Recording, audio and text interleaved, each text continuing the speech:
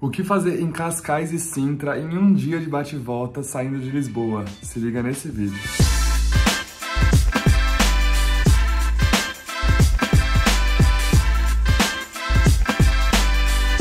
Fala galera, como vocês estão? Bem-vindos a mais um vídeo do César por aí. E no vídeo de hoje, gente, tem Cascais pela manhã, e a gente almoçou lá, uma delícia de almoço. E teve Sintra à tarde, teve docinhos portugueses dos meus favoritos, vocês vão ver. E também teve Palácio de Pena.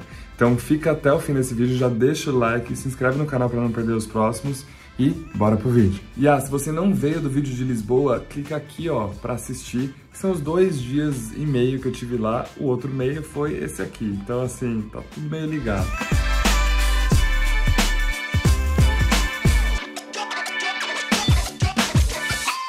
minha família é exploradora, né? Porque ó, meu irmão já tá lá, o pai ali.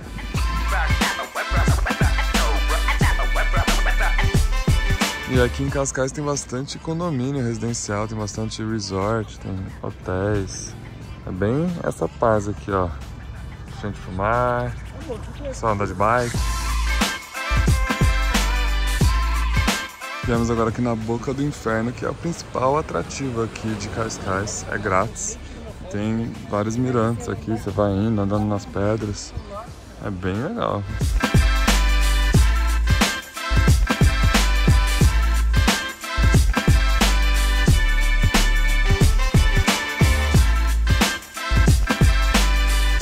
Uma outra vista bem impressionante, é bem bonito mesmo. Boca do inferno, gente.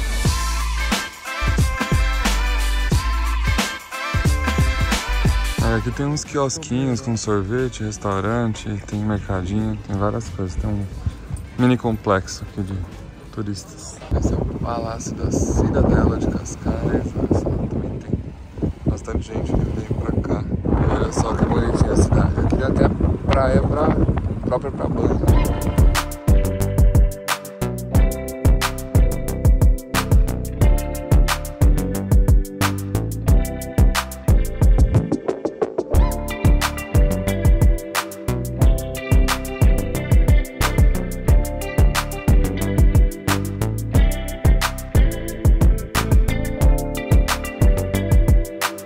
Aí aqui tem algumas ruazinhas com lojinha, com restaurante. A gente vai aproveitar para almoçar por aqui em Cascais mesmo.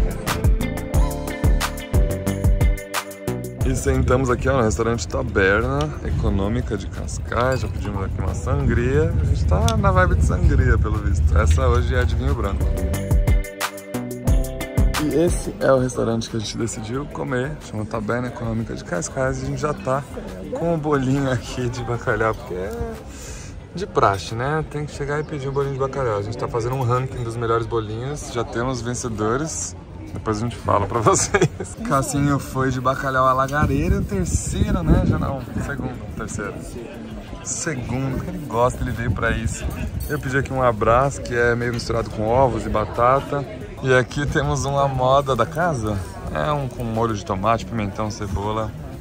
Esse daqui foi R$18,90, R$18,90 e esse daqui 14. A gente pediu também uma borratinha que vem com parma, vem com melão e enfim, tomatinhos, é R$13,50. Agora a gente tá vindo aqui em Sintra e meus pais lembraram de uma loja que eles compraram alguns doces e a gente tá atrás dessa loja. Espero achar e poder mostrar pra vocês também. Depois tem Palácio de Pena pra gente conhecer.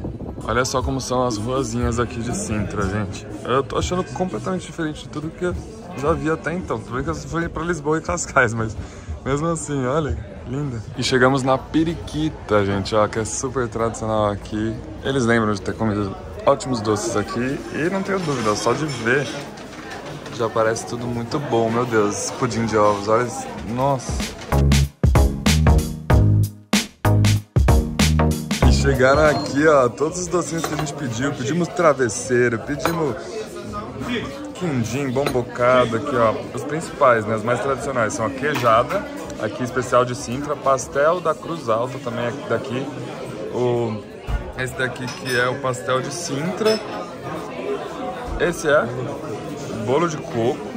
E o pudim de ovos, que eu já experimentei e é uma delícia. E aqui os preços para vocês terem uma ideia, ó, dos, desses principais que a gente pediu.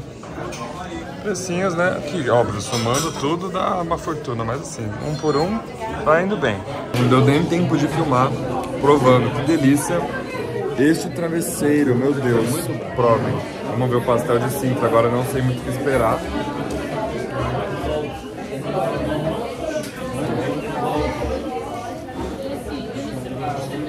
É óbvio. Muito bom. Porém, achei muito doce, preferi o travesseiro. Ó, ranking pra mim até agora. Meu favorito, meu segundo favorito, meu terceiro favorito. É, esse não. quarto favorito era o que tava aqui. quinto favorito. E, gente, olha como fica essa loja, sério. Não é à toa, é tudo muito, muito bom. Esse daqui é o Palácio Nacional de Sintra, mas a gente já vai subir direto pro Palácio de Pena, que é um dos mais bonitos aí da Europa. Vocês vão ver junto comigo. E chegamos aqui no Palácio da Pena, olha só, gente, é uma, uma vibe, um negócio muito diferente, porque é muito alto. É assim, muito bonito logo de cara. É uma loucura aqui, gente, porque não tem estacionamento direito, tem um pequenininho lá atrás e aqui não pode parar porque toma multa, cuidado com isso, é só para deixar desembarcar. E aí passa esses tuk-tuk loucamente nos estacionamentos pegando as pessoas. É, nosso, meu pai deixou a gente aqui e foi lá, coitado, vai Vamos ver se ele vai subir de tuk-tuk. Mas aqui no Palácio Nacional da Pena, gente, tem hora marcada, então você tem que comprar o ingresso com antecedência. Eu vou deixar para vocês na descrição um link que é de uma excursão da Civitatis para cá, se você tiver sem carro, por exemplo, e quiser vir. E olha só, a gente deu um mapinha na entrada para você. Isso aqui é o palácio. E a gente vai andando, porque de ônibus é 3 euros por pessoa. Então a gente resolveu andar. Vai dar uns 15, 20 minutos até lá. E essa floresta aqui rumo ao palácio é bem bonita, viu? Bem bonita mesmo. Dá pra sentir a natureza enquanto as costas vão gritando.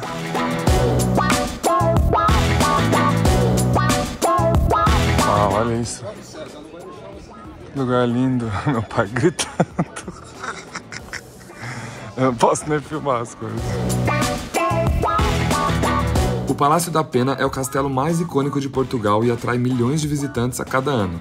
Para entrar nele, você precisa atravessar seus jardins através de sinuosos caminhos rodeados de árvores e plantas exóticas trazidas de todos os continentes por ordem do monarca Fernando II. Ele quis criar esse clima de conto de fadas depois de chegar a Sintra e se apaixonar por sua paisagem. O Palácio da Pena foi declarado Patrimônio da Humanidade pela Unesco em 1995 e é monumento nacional desde 1910. A gente aqui no final do circuito da visita tem uma cafeteria com pipoca, tem snacks, tipo batata chips, tem um espaço para descansar. Aqui a vista do palácio é muito, muito bonita, mas é que o palácio é tão bonito que acaba não chamando tanta atenção. Mas na hora que você para para perceber em volta, é realmente bem bonito. Qual foi o valor?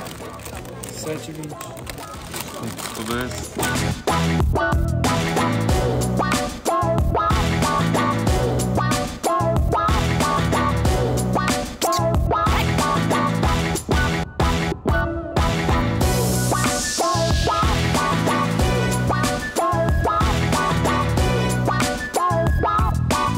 É, gente, curti demais visitar o Palácio da Pena, mas só para avisar vocês, aqui tem muitos outros atrativos porque é um parque. Então, o Parque da Pena tem bastante coisa para ver. Vou mostrar para vocês no mapa, para vocês terem ideia do tamanho daqui.